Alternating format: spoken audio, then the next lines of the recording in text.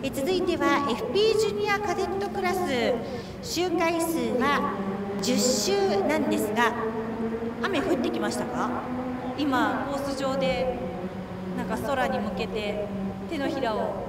え？ってやってる方がいらっしゃったのでドキドキしてるんですけどね、え予報ではあの雨はねどんどんとこう時間が遅れているようなのでまあ大丈夫なのかなとは思うんですけど分かりませんね。さあまずはカデットクラス予選ヒートみんなね無事にねスタートしてくださいね。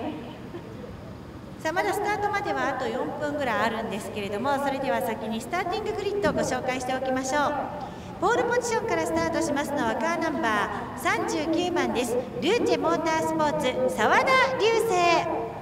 タイトルタイムは34秒976、34秒976と唯一34秒台に入れてきているのがこの澤田流星です。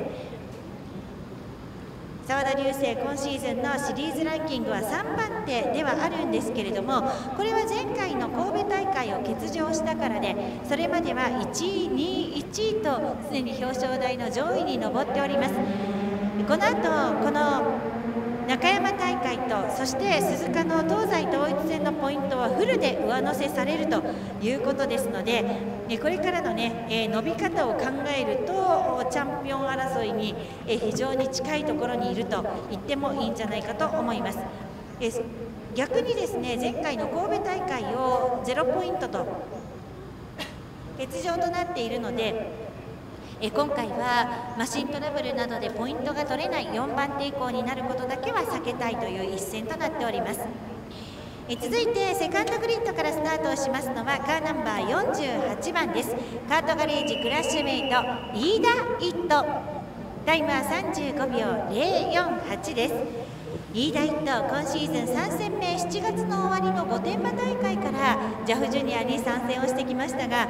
えその後もですね非常にたくさんのレース経験を積んでほぼ毎週のようにレースを出て、まあ、そういったら隣のね澤田流星とかも一緒なんですけれどもえぐいぐいと今実力を伸ばしてきております。えこの2番手タイム本人としては手応えがあったのではないでしょうか。続いて3番グリッドからはカーナンバー16番です。エナジージャパン横山明人。2121と表彰台の一番上か2番目にしか乗っていないという横山は堂々のシリーズランキングトップです。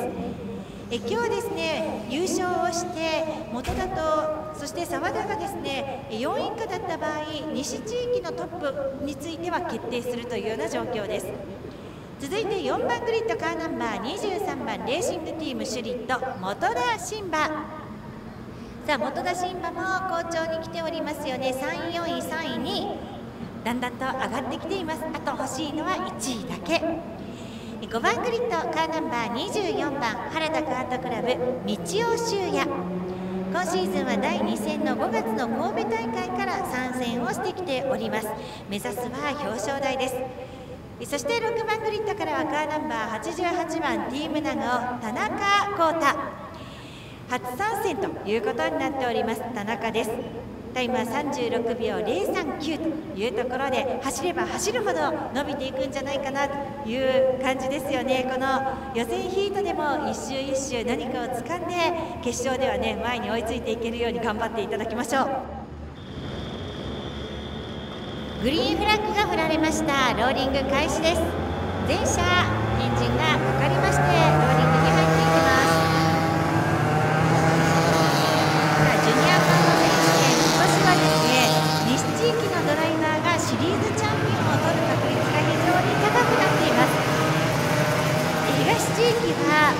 開幕戦で松井久第2戦で坂野大元第3戦で関口俊第4戦で常川翔太郎とそれぞれ星が分かれたことによってポイント結構ばらついてるんですよね。で表彰台についても結構一戦につき1人は新しく表彰台に乗りましたみたいなドライバーが出てきていてえ特にこの前の茂原なんかはねえ西から行っている常川翔太郎とそれから前田壮亮が、ワンツーを取ったということもありまして逆にポイントがばらけてきました。その分西はトップ3にポイントが集中しています。さあどんな戦いになるのか。スタートは切られました。スタート。さあちょっとスタート出足遅れちゃったのが飯田一斗です。4番手に1コーナーを通過しかし2コーナーで戻した。うわ元田審判もイン側飛び込んできました。2コーナーから立ち上がってトップは澤田流星2番手横山明人。3番手に道尾修也が上がります。少し離れまして4番手に飯田一斗5番手に本田そして6番手には田中となっております。さあトップの澤田流星がコーナーのところで早くも後ろに少し隙間を空けました。タイムトライアル唯一34秒台に入れてきています澤田流星ホームストレートのっけから飛ばしていきます。2番手にはタイトル3番手ということは本人にとっては本意だったでしょう横山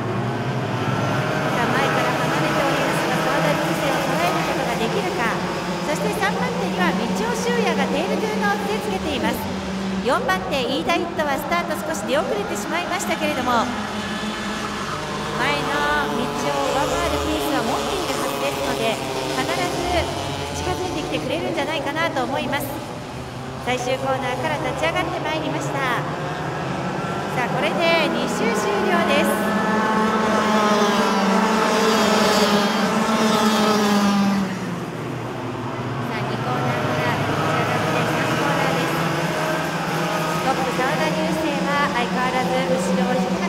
となっています。3番手4番手がテールトゥーノーズになりました。道尾修也に対しまして飯田一斗がだんだんと近づいてきておりましてさあ飯田5コーナーのところで入るかなと思いましたがそこは見ましたね。もうしばらく様子は見そうです。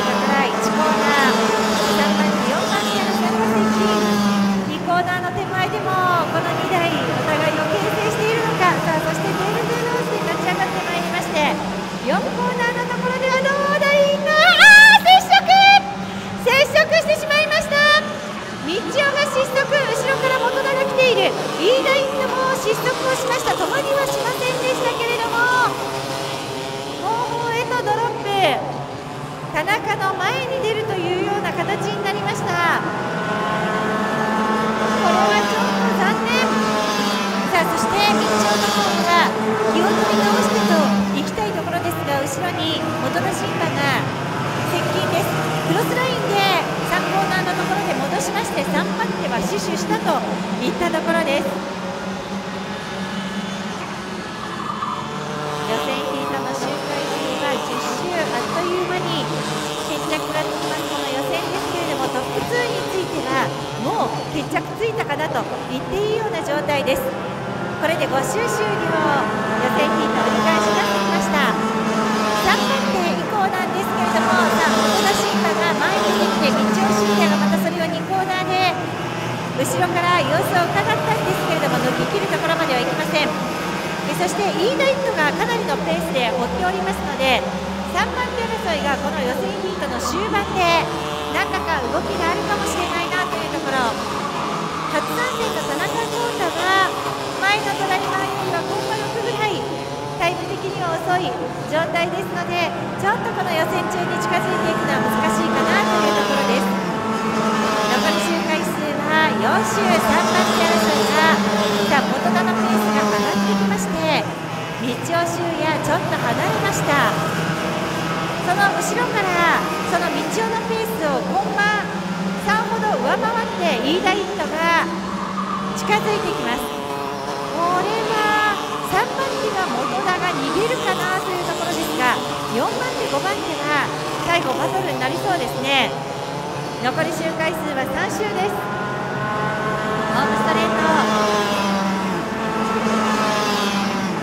4番手の5番手接近するのかどうなのか2コーナーから立ち上がってまいります。